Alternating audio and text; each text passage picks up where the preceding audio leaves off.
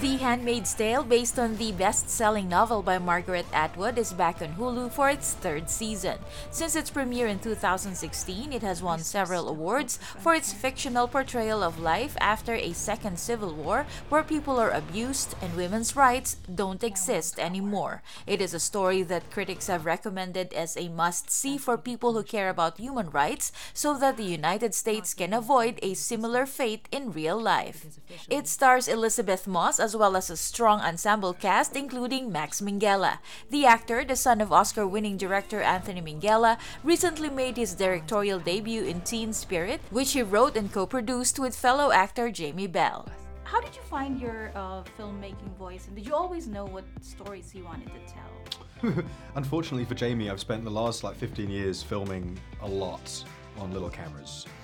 Um, uh, I shoot everything. So if you know we went to whatever we went to Best Buy to buy a, a, a, Blu-ray circa 2007, I would have my camera with me and I would film it and then go home and edit it into a little movie.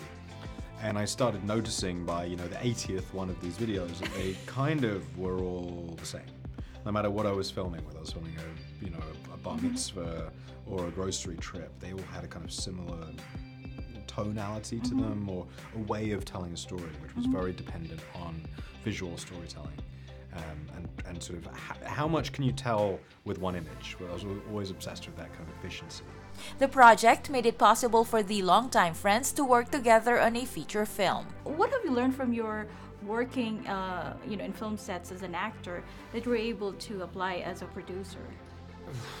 That's a good question. Um, very to, i think to just to be the, the best producers that i've worked with are just so supportive of the filmmaker mm-hmm. um, and they're really the advocate for the story all the time yeah you know, producers who don't just kind of get the trailers in and, and, and uh, you know, make sure the budget is running smoothly. But someone who's actively a participant, a creative element that helps the filmmaker.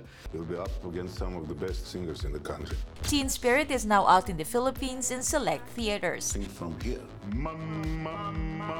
Yong Chavez, ABS-CBN News, here in Hollywood.